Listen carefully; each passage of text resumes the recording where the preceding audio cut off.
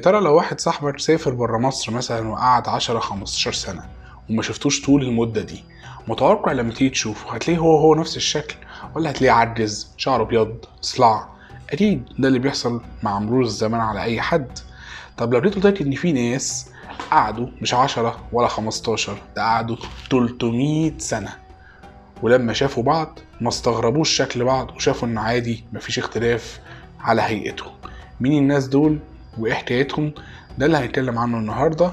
بس قبل ما نكمل كلامنا أفكركم تكونوا مشتركين في القناة ومفعلين جرس التنبيه والحلقة العربية تعمل لها like و share. النهارده هنتكلم في حتة معينة عن أهل الكهف وهي إن ربنا أراد حدوث معجزة ليهم ألا وهي إيقاف تأثير الزمن عليهم. تأثير الزمن إزاي؟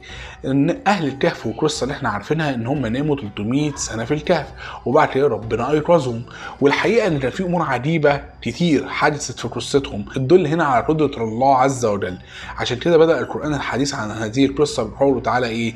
أم حسبت أن أصحاب الكهف والرقيم كانوا من آياتنا إيه بقى؟ عجبا إشارة هنا لحدوث عدة أمور عجيبة منها إيه بقى اللي هنتكلم عنه النهاردة إن ربنا عز وجل أوقف تأثير الزمن عليهم.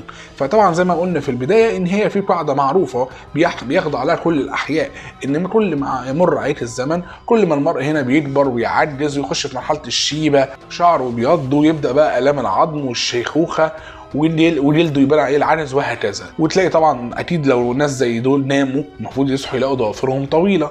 دي قاعدة ما بيختلفش عليها اتنين. ولكن ربنا هنا عز وجل بقى كان بيده الأمر. أراد هنا إنه يظهر قدرته وإن يخلي ناموس الكون ده كله يحصل له نوع من الخرق والإعجاز.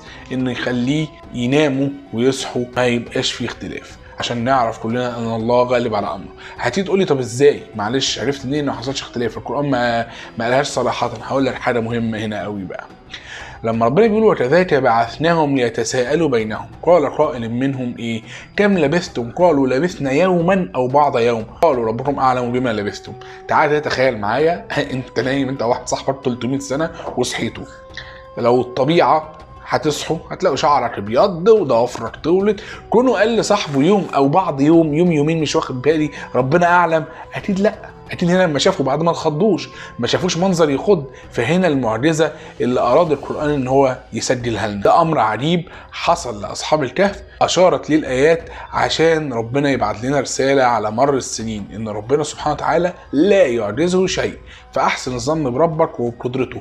مهما حل بيك بقى من شدائد ولا ولا أي مشكلة قابلتك فربنا بقدرته تقدر تستغيث بيه وإن هو قادر على كل شيء. يلا سلام.